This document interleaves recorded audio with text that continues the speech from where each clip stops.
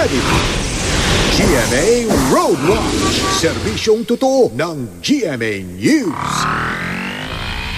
At 6.09 na nga po mga kapuso, bangon na, silipin na natin ang dali ng trapiko sa ilang pangunahing lansangan ngayong Webes ng umaga. Unahin natin ang EDSA Cubao sa live na kuha ng GMA Roadwatch.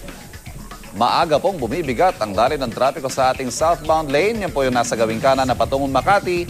Magaan pa naman sa mga oras na ito ang ating northbound lane na patungong monumento. Tulad ng nakikita ninyo sa gawing kaliwa ng inyong mga TV screen. At patuloy po ang paghahatid natin ng real-time traffic info sa tulong ng ating mga Wazers na gising na gising na. Ayan po sila, nagkalat sa iba't ibang panig ng Metro Manila at may gagawin nga pong road reblocking tulad ng naianunsyo namin kanina ang DPWH sa ilang bahagi ng EDSA. Batay po yan sa advisory ng MMDA simula bukas ng alas 10 ng gabi. Narito po ang mga maapektuhan lugar. Ipapakita namin sa pamagitan ng Waze Map. Unahin po natin ang EDSA Pasay southbound lane. Ito po yan. Yung direksyong ito. Mula sa bahagi ng Loring Street. Ito po ang ating Loring Street. I-zoom natin ng konti. Ayan, ito ang Loring Street patungo sa Park Avenue. Southbound lane po yan. Malapit ito sa may MRT Taft Avenue Station. Paglampas nyo lang po dyan kung kayo southbound, yan po banda ang gagawing reblocking dyan sa EDSA Pasay.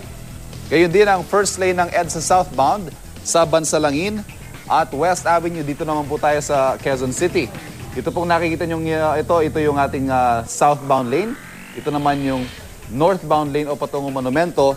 Ang uh, ilang pong uh, apektadong mga uh, kalye dyan ay ang uh, sa northbound lane. Kaya asahan nyo pong magkakaroon tayo ng bahagyang pagbagal ng daloy ng trapiko sa bahaging yan ng EDSA, Quezon City. At apektado rin ang ilang bahagi ng EDSA Caloocan. Marami-rami po ito. Isa-isahin natin sa boundary po ng uh, Quezon City at Caloocan dito po sa F. Aguilar Street. Ayan, pakita natin. Malapit po yan sa Balintawak Cloverleaf. Northbound po pinag-uusapan natin.